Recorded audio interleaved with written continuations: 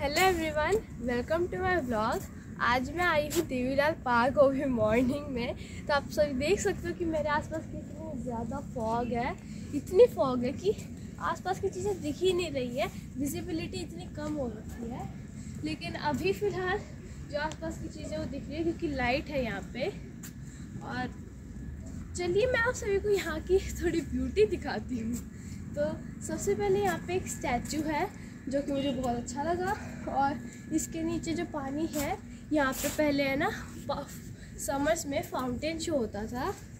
तो अभी फ़िलहाल नहीं हो रहा है विंटर्स की वजह से तो जब होगा, मैं आपको ज़रूर दिखाऊँगी। तो मैं सुबह सुबह आने में थोड़ा आलकस हुआ था, क्योंकि सर्दियों में रजाई छोड़ना किसी को अच्छा नहीं लगता। और बच्चों को तो डेफिनेटली नहीं। तो इसलिए मैं थोड़ा, मैंने थोड़ा कष्ट किया और यहाँ पे आई हूँ। तो यहाँ पे बहुत सारे खजूर के भी पेड़ लगाए हुए हैं सुंदरता के लिए, जो कि मुझे भी बहुत अच्छे लगे। तो आप लोग सोच रहे होंगे कि ये फॉग आती कहाँ से? क्योंकि मैं भी ये सोचती थी पहले जब मैं छोटी थी।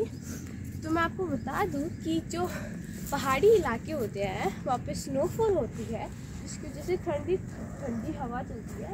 और यहाँ पे मैदानी इलाकों में ह्यूमिडिटी थोड़ा पॉल्यूशन और वाटर की ड्रॉपलेट्स मिलके ये फॉग बनाती है। इसलिए आ, मैं आप सभी को कहूँगी कि आप अपनी रजाइयों में ही रहे बाहर ना निकले क्योंकि यहाँ पे बहुत ठंड है। और अगर आपको निकलना है वॉक करने आनी है तो मेरी तरह बिल्कुल पैक हो गया तो अब आपको पता चल गया है कि फॉग कैसे होती है तो इसलिए बाहर मत निकलेगा क्योंकि यहाँ पे अगर ज़्यादा पोल्यूशन मिक्स हो हुआ फॉग में तो वो हार्म भी दे सकता है। ये किसानों के लिए भी बहुत ज़्यादा यूज़फुल होती है कभी कभार फॉग। और जैसा कि आप सभी को पता है तीन चार दिन से बहुत ज़्यादा रेनफॉल भी हो रही है तो वो भी वो किसानों को थोड़ा नुकसान दे सकती है, क्योंकि ज़्यादा रेनफॉल खेतों के लिए ठीक नहीं होती।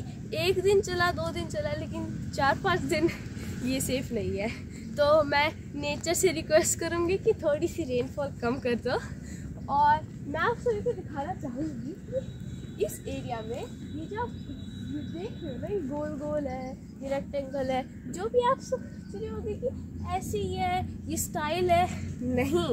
अगर आप इस इमेज को ऊपर से देखोगे ना तो एक फ्लावर की शेप फ्लावर यानी फ़िश की शेप में है।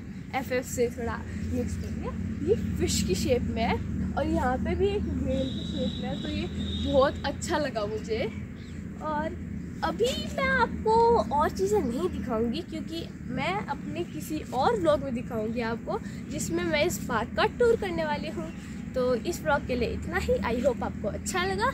मिलते हैं मेरे नेक्स्ट वीडियो में। तब तक के लिए take care and bye bye